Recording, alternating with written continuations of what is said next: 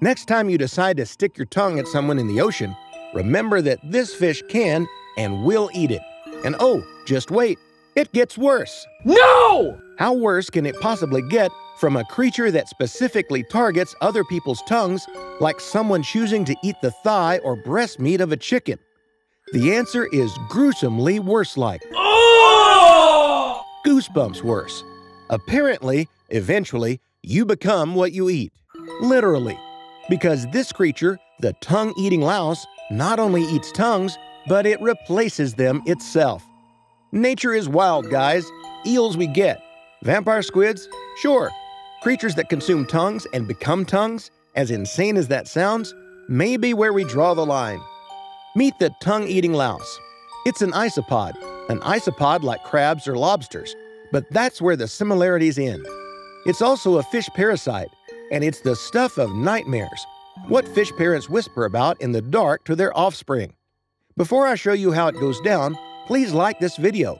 It will help my videos get some extra attention. Here's how it goes down. These parasites are what are called protandric hermaphrodites. That means they can change sexes later on in their life cycle. So at the start of their lives, the parasite sets on its sinister journey by swimming inside of a fish's gills. Their preferred prey are snappers, but they've been observed in seven other species. Once safe and snug inside the gills, they stay until they finish their maturation process.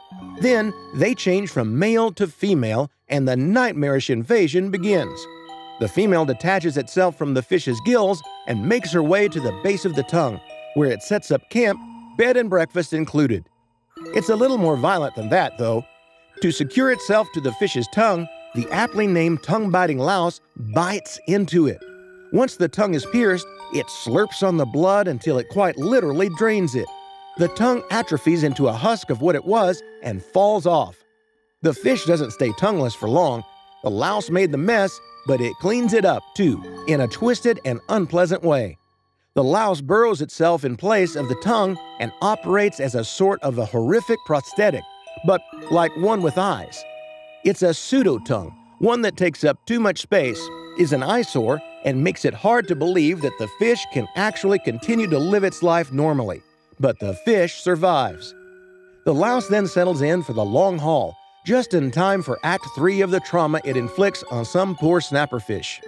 For a while, it feeds off any blood in the mouth area or fish mucus.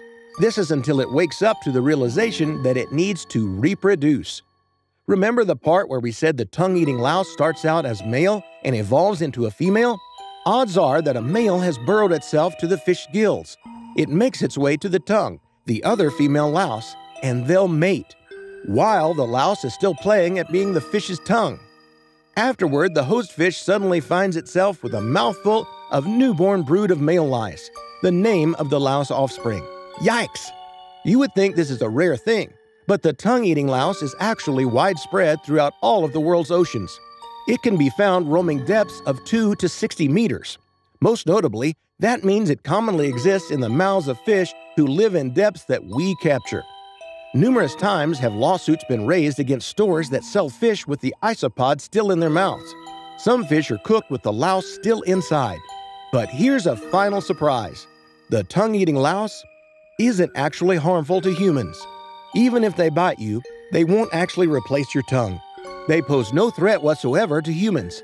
Snappers, the Atlantic croaker, and other fish species can't say the same, though. Check out this video. It's specially selected for you. You'll like it.